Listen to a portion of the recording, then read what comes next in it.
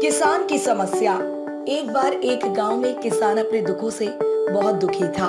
किसी ने उसको बताया कि तुम अपने दुखों के समाधान के लिए गौतम बुद्ध की शरण में जाओ। वह तुम्हारे सभी दुखों का समाधान कर देंगे। यह सुनकर किसान बुद्ध की शरण में चला गया। वह गौतम बुद्ध के पास पहुँचा और कहा, हे महात्मा, मैं एक इंसान हूँ और मैं अपनी जीविका चलाने के लिए खेती करता हूँ।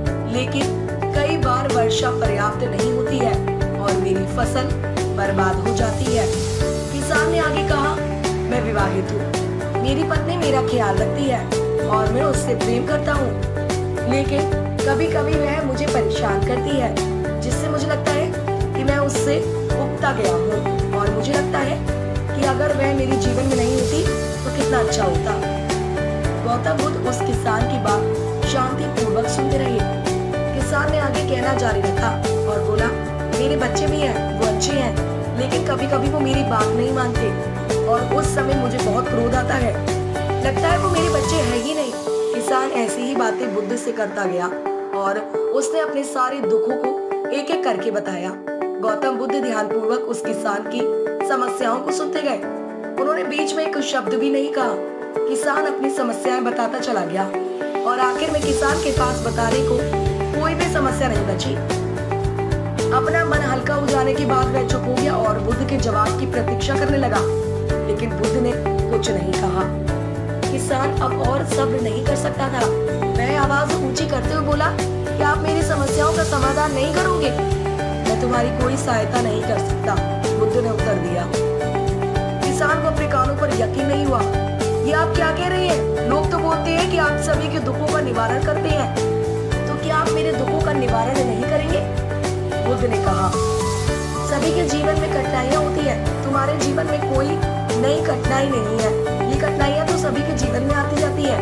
कभी मनुष्य सुखी होता है तो कभी दुखी। कभी उसे पराये अपने लगते हैं, और कभी उसे अपने लोग पराये लगने लगते हैं। ये जीवन चक्र है। इससे कोई नहीं निकल सकता है। वास्तविकता में हमारा जीवन कठिनाइयों से भरा हुआ है। मेरा, तुम्हारा और सभी लोगों का जीवन समस्याओं से ग्रसित है। इसलिए मैं इन समस्याओं का समाधान नहीं कर सकता हूँ। यदि तुम किसी एक समस्या का उपाय भी कर लो तो उसके स्थान पर एक नई समस्या खड़ी हो जाएगी। यही जीवन का अटल सत्य है। यह सुनकर किसान क्रोधित हो गया और बोला, सब लोग कहते हैं कि आप महात्मा हैं। मैं यहाँ एक आस लेकर आया था कि आप मेरी सहायता करेंगे। मगर आप मेरी समस्याओं का समाधान नहीं कर सकते। तो मेरा यहाँ आना व्यर्थ हुआ। इसका मतलब सभी लोग झूठ बोलते हैं। मैं बेकार ही आपके पास आया। इतना बोलकर किसान उठकर जाने लगा। तभी बुद्ध ने कहा, मैं तुम्हारी इन समस्याओं का समाधान तो नहीं कर सकता हूँ, लेकिन हाँ मैं तुम्हारी एक दूसरी समस्या का समाधान कर सकता हूँ। किसान ने आश्चर्य से कहा, इन समस्याओं के अलावा दूसरी समस्या भला वह कौन सी समस्या है? बुद्ध ने कहा, वह यही है कि तुम नहीं चाहते कि तुम्हारे जीवन में कोई समस्या हो। यही समस्या के कारण ही दूसरी समस्याओं का जन्म हुआ है। तुम इस बात को स्वीकार कर लो कि सभी के जीवन में समस्याएँ होती हैं, कठिनाइयाँ होती हैं। तुम सोचते हो कि तुम इस दुनिया में सबसे ज़्यादा दुखी हो और तुम्हारे जितना कोई और दुखी नहीं है। तुम अपने आस पास देखो। क्या वो लोग तुमसे कम दुखी है? तुम्हें अपना दुख बड़ा लगता है, लेकिन जो लोग तुम्हारे आस पास रहते हैं, उनको, उनका दुख बड़ा लगता है। इस दुनिया में सभी को अपना दुख बड़ा लगता है, चाहे दुख छोटा हो या फिर बड़ा हो। लेकिन वह जिसके साथ घट रहा है, उसके लिए वह दुख बड़ा प्रतीत होता है। अगर तुम ध्यान पूर्वक देखोगे तो समझ जाओगे कि यह जीवन सुख दुख से भरा हुआ है।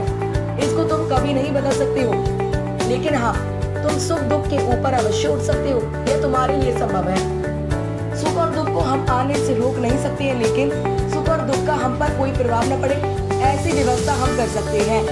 और इसकी शुरुआत इस तथ्य को समझने के साथ शुरू होती है कि हम कुछ भी कर ले, जीवन में सुख दुख आने ही है, लेकिन हमें उससे विचलित नहीं होना चाहिए। इसलिए आज से तुम ये जानना छोड़ दो कि तुम्हारे जीवन में कोई समस्या ही ना आए। और तब तुम जीवन में आने वाले सुख दुख को स्वयं में समा सकोगे तूफ़ान के मध्य में भी शांत रह सकोगे और हर्षोल्लास के शोर में भी संतुष्ट रह पाओगे। किसान बुद्ध के चरणों में गिर पड़ा। वह समझ चुका था कि अब उसे क्या करना है। मित्रों, यह जीवन सुख दुख से भरा हुआ है। ऐसे में यह सोचना गलत है कि दुख कभी आए ही नहीं। इस कहानी से भगवान बुद्ध द्वारा कही गई बातें हमें दुख से घबराने या सुख में अत्यंत उत्साहित होने की जगह एक संतुलित जीवन जीने का संदेश देती है।